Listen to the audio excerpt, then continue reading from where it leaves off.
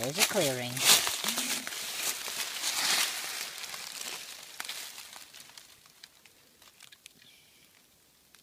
Hmm. Did you get it all right, Pete? Yeah, we- I if we- what. If we listen for a sec and just be real quiet, he might open up a little. I'm not sure. He might not with the lights, but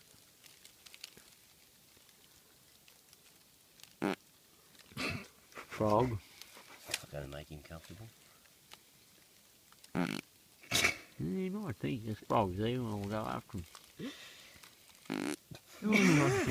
Where are you jumping man? you. You need to stand up because it's that position you're sitting in. oh, Oh, gonna kill him. fucking hell. 19 there, Oh, I had to put up with this in the tent.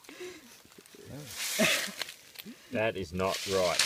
Most likely remember there's 19 one, My bad, that's pretty inappropriate. 19. What? Pete? 19, yeah. Whose light's flashing? The Mine. squirrels look a bit longer than It's ours going down flat. there. Yeah, they are, aren't they? They're nasty looking. They You know. look it.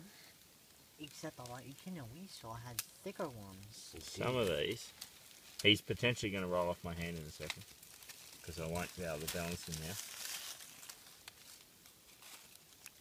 One you are. These are very long. No wonder. Does that mean he's older or? No, I think you better stop because Healthy. he's starting to It's a bit of a different breed.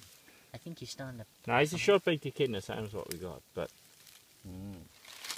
he just, he just, it's a bit like things up here typically have shorter fur Yep. as opposed to longer fur down south because of the climate. His spikes are probably longer to deal with different things. Rod's It gonna be freaked if could- he saw this. It could be things like dingoes. They like to swim too. Yeah, they can swim, I think. Yes, I watched one in the Can bush they? at home Yeah, there they one day, not actually at can. my place, but up in the Hey, bush there in yeah. the Sartles Gully there, and I was just by this dam. I looked up and I saw this echidna come down the hill and he went straight in the water.